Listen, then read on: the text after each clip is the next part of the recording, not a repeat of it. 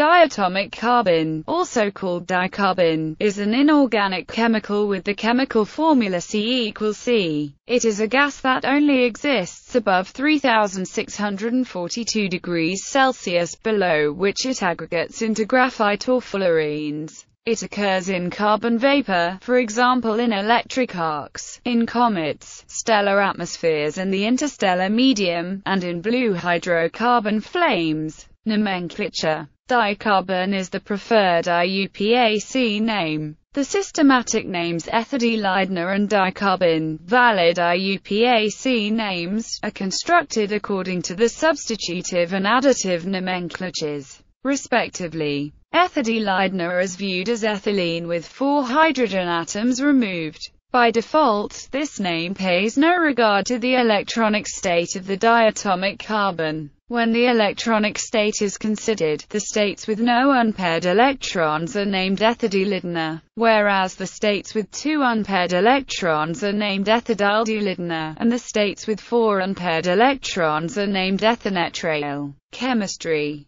Molecular orbital theory shows that there are two sets of paired electrons in a degenerate pi bonding set of orbitals. This gives a bond order of 2, meaning that there should exist a double bond between the two carbons in a C2 molecule. However, a recent paper by S. Shaik has suggested that a quadruple bond exists in diatomic carbon, a conclusion that was opposed by J. Grunenberg. Bond dissociation energies of B2, C2, and N2 show increasing BDE, indicating single, double, and triple bonds, respectively. C2 is a component of carbon vapor. One paper estimates that carbon vapor is around 28% diatomic, but theoretically this depends on the temperature and pressure. Comets the light of fainter comets mainly originates from the emission of diatomic carbon. An example is C 2014 Q2, where there are several lines of C2 light, mostly in the visible spectrum, forming the Swan bands.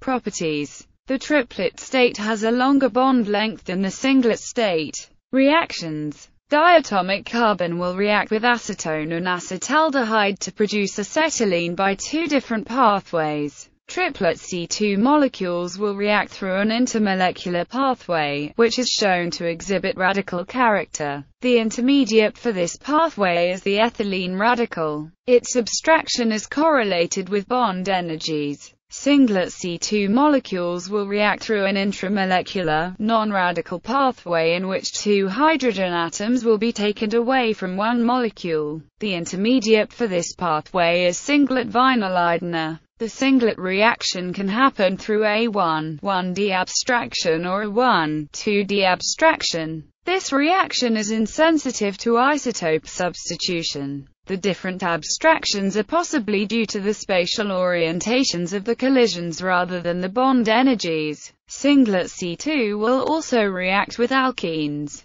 Acetylene is a major product, however, it appears C2 will insert into carbon-hydrogen bonds.